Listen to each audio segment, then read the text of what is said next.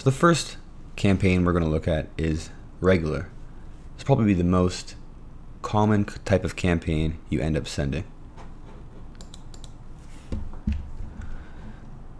So pick whatever list you're going to send to. You could choose to send it to your entire list, to a segment, to a group, or even start a new group or segment. I'm going to send it to my entire list. Go down and click next in the bottom right hand corner.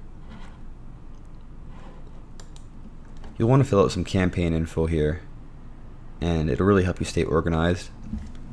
For the first thing, campaign name, I'm just going to put test subject. Make sure the subject is something that is going to be enticing for the user to open.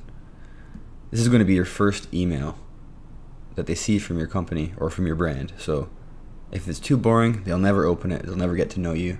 You'll never get the sale. And that really just highlights the importance of this section.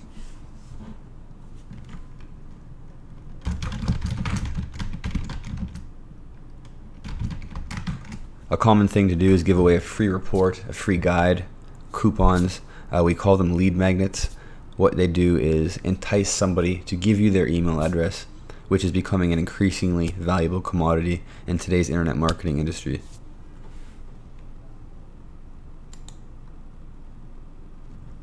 You just make sure these other sections are correct here the subject, the from name, and the email address.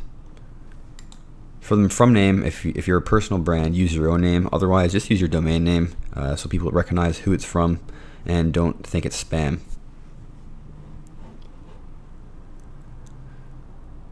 If you want to use conversations to manage replies, you'd have to upgrade your account. So since we're doing the free version of the account here, I'm not going to get into that section. Personalize the to field. This is something where you could highlight their attention uh, by putting in their first name. I would uh, suggest you click this and just leave it the way it is on its default setting.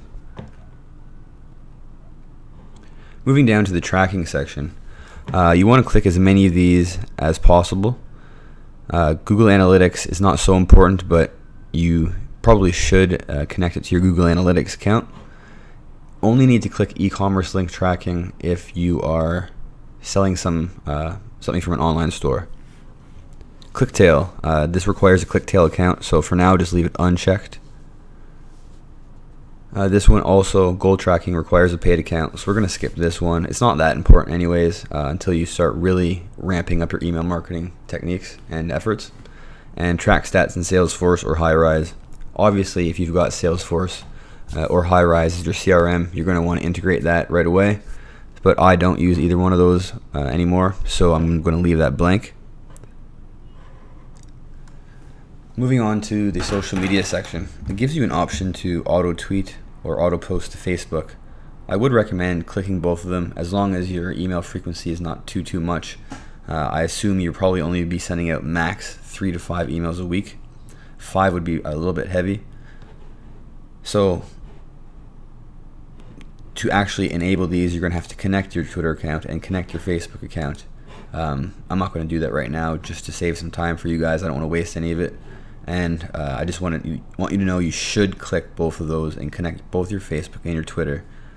Just expands your reach, and you really need to expand your reach as much as possible. The final thing is auto convert video. Uh, if you want to turn it on, it'll actually scan your content for videos and play it properly within their uh, coding. So you can put uh, a YouTube video in, Vimeo, uh, or even a native Facebook video, and it will automatically parse it for the email and make sure it looks good on uh, your, your customer's end. That's it for the basic HTML campaign. It's probably the most common one you are going to use, and in the next lesson, we're going to look at the plain text HTML emails.